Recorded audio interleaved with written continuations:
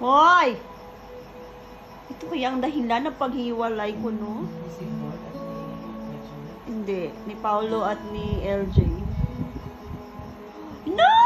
No! Namiyang sa yalom yaw. No, no. Oh my goodness! Why? Mga marurupok! Makasalanan!